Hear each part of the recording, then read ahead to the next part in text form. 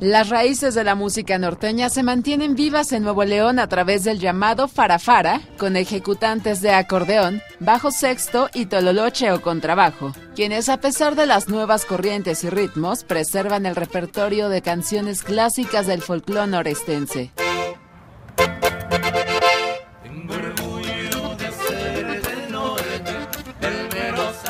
Para mí el tocar la música norestense es algo muy bonito ya que estamos tratando de rescatar la música que no, que no muera porque ahorita se está viendo mucho que está sobresaliendo la banda y todo eso.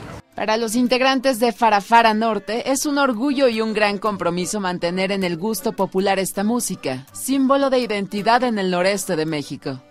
Pues siempre nosotros con la misión de rescatar la música norestense, la música norteña, de que prevalezca o de que tome fuerza debido a las corrientes de música eh, novedosas o de la actualidad que están entrando. Para mí es, como lo repito, es una satisfacción poder este, representar este tipo de música y pues dejar que no muera, o sea, seguir luchando para que, que viva por más generaciones. Los jóvenes músicos fueron ganadores el año pasado de la primera muestra estatal Farafara de Nuevo León 2015.